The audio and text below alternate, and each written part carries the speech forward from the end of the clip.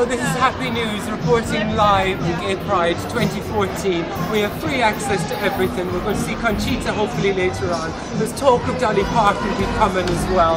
And now we're in Soho where it's a little bit dry, the sun is out, people are happy, everyone's just colourful and it's going to be a great day.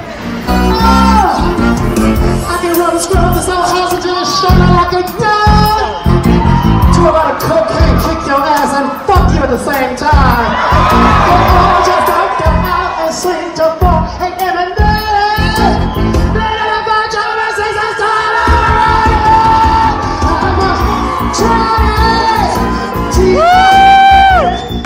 We're at the top of John Lewis in London, who's been kind enough to give us these umbrellas so we could see the parade. And they've got this beautiful, wonderful, exquisite garden.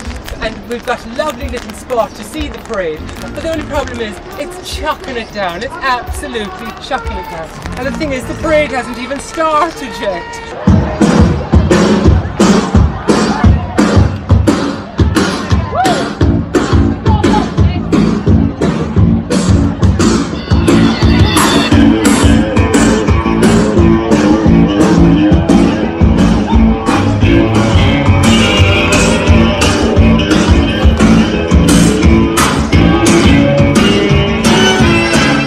Regent Street, and all the way along on both sides is thronged with people awaiting to see the parade, which is 2014 in London. I'm at the top of it at the minute.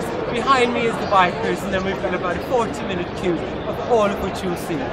This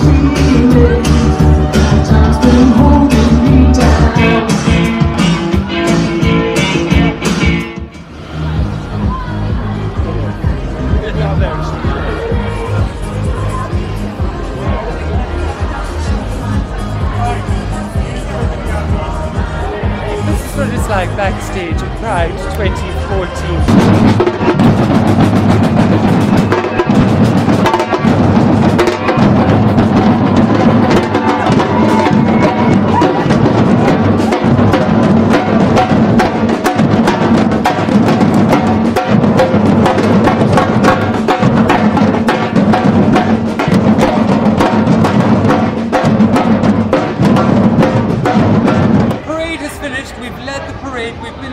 Trafalgar Square. We're now on our way to Old Compton Street, but I think my battery's going to go dead.